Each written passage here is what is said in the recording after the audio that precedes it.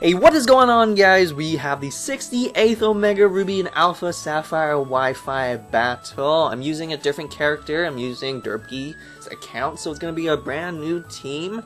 Not exactly brand new, but it's going to be a huge change and difference. Refreshing change. I like to keep it fresh for you guys, after all. These battles are, well, I try to keep them daily, but yeah, I gotta keep them fresh, right? I have the Mew, it's a great uh, entry hazard. I have the Cinccino, the Umbreon, the Crobat, the Lanturn, and Genesect. My opponent has Sceptile, Aegislash, Klefki, Gyarados, Pichu, and uh, I'm, I'm so sorry, I can't, I'm having a brain freeze right now, but we will get right into this battle. If you guys haven't noticed, I have a team composed of a lot of U-turners and Volt Switchers, including this Mew. This Mew has U-turned. So he's gonna lead off with Pichu, Shiny Pichu named DLC, which makes me wonder, is this Pichu, was this Pichu ever an event Pichu? Regardless, I'm gonna go for the Fake Out, and I do get a nice critical hit, and it does take him to a Sash. That's the whole point of having Mew Fake Out, to just break Sashes. And uh, he actually goes for his own fake out, but it doesn't quite work because I already went for my fake out. So it only works if it's the very first attack. And uh, naturally, I do set up my rocks, and I do get a nice free kill on this Pichu. So that's pretty sweet. You know, this Pichu only has 1 HP left. I only set up rocks, so naturally my opponent can't switch out. Now I'm going to go into Crobat, another U-turner. And uh, he does have switch priority, and here comes the Klefki now. Now I know for a fucking fact he's gonna go for Thunder Wave. Maybe not Swagger, you know, Swagger is banned and all, but definitely uh, Thunder Wave, just because Klefki runs Thunder Wave. And uh, I do switch into my Lanturn, but now I think about it, I really should have just switched into my Mew or even my Umbreon so that this Klefki can get synchronized and get paralyzed too. Regardless, turns out he uh, breaks uh, the you know the OU rules and does go in fact go for the swagger. Again it's nice to see swagger. Hey I'm not complaining okay? Last battle I just fought a Blaziken and now I'm fighting swagger uh, Klefki nothing wrong with that honestly. Nothing wrong with that. I don't mind fighting against uh, banned Pokemon or banned moves. He has heal block which is pretty interesting but uh, I'm just Lanturn. I'm just a humble Lanturn, and I just want to land some attacks more importantly, I want to land my Volt Switch because I know one Volt Switch can't kill him, and he's kicking my ass. And uh, knowing me, Repel Games, I hit myself in confusion every fucking time. But luckily, this turn, the third turn in confusion, I finally land my Volt Switch. And look at that! Holy shit, that makes me think this Klefki is physically defensive, not specially defensive. So I'm gonna go into Umbreon now. Um, you know, nothing really wants to take a foul play except for Umbreon. So yeah, my best bet is Umbreon.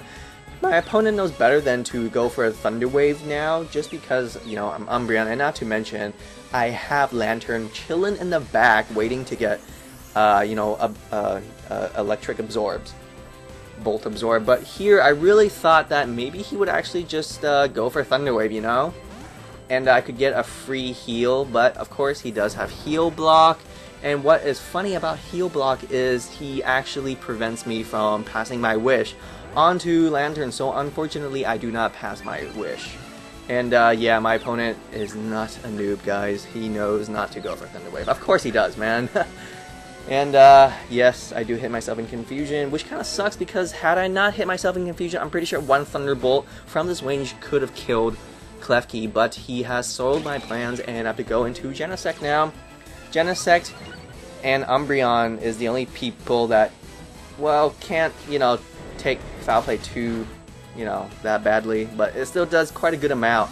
Now, here comes the Thunder Wave, okay? It's very obvious. I'm Genesect, I'm Choice Scarf Genesect. Who doesn't want to paralyze a Genesect? But he has he goes for Swagger. So again, I counter predicted, I over predicted.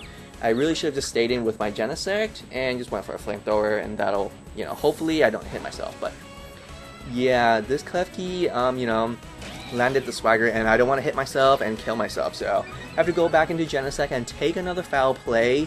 Okay I'm sorry to my viewers that um, this is quite of a hectic and annoying and tedious battle with Klefki but this is Klefki and it's using uh, Parafusion, Swagger, and Thunder Wave combo. So you gotta be really careful. Now here comes my confusion, but I actually break through out of it and I land my uh, plus two attack. Is it plus one? I think it's plus one special attack flamethrower. So even if this Klefki was carrying a berry, it will not affect my flamethrower. Now here comes the Aegislash. Really strange because obviously um, he actually might be able to kill me with a Shadow Sneak. You know, I just revealed that flamethrower, so it's really ballsy of my opponent to go into Aegislash. So expecting the Shadow Sneak I actually went to Cinccino, but turns out he actually went for Swords I'm, I'm just like, what the fuck? Like, you know, I just had a plus one special attack, right? Even if it's Aegislash Shield, I don't think Aegislash Shield can possibly take a flamethrower. Just coming from Genesect. Gen Genesect has massive attack. So, I, um, you know, knowing that he went for Dance, I really don't want to switch out to anything, really. Um, so my best bet is actually just stay in, and hopefully I can get a flinch. But as you'll see, he does uh, change his stance. But actually, it doesn't matter. um, turns out, my opponent can change stances while, you know, being flinched. And, uh, you know, I really thought the King Shield was very obvious. I don't want to get my attack dropped or anything. Not that it really matters, because now I think about it, uh, Bullet Seed is uh, a ranged attack, so it doesn't actually do, it doesn't actually work. And look at that, holy shit.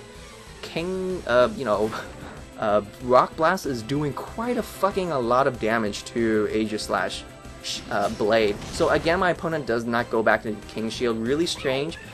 But, um, you know, I don't get that flinch, which is, you know, my fault, really. And I'm just gonna go to Umbreon now. Now, I'm pretty sure, like, for sure, King Shield is coming. Like, for fucking sure. So, you know, instead of getting my attack dropped, I'm just gonna go for Protect. But he actually keeps staying in.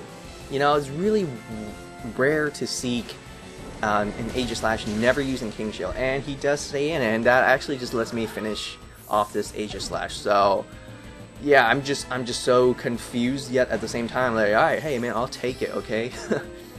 if you want to just, you know, sacrifice your Aegislash, so that be my be my guest, man. And uh, he actually sends out the Gyarados, and um, surprisingly, he goes for the Dragon Dance. Again, I just revealed that I have Foul Play.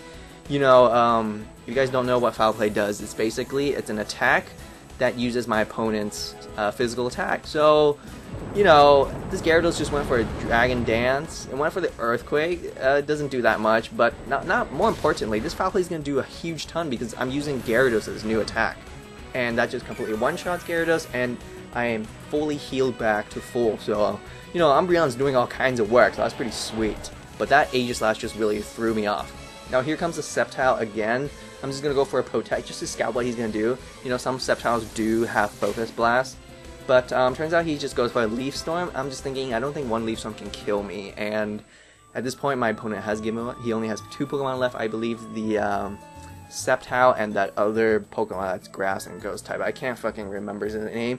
If you guys know its name, just please leave it in the comment section. I know like all my Pokemon, honestly, but it's just it's just a tiring day. I'm sorry.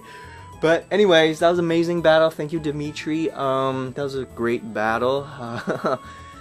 yeah, so give a huge thumbs up for Umbreon, man, eating up all those attacks. And if you guys haven't subscribed, please feel free to do do so. As always, have an awesome day.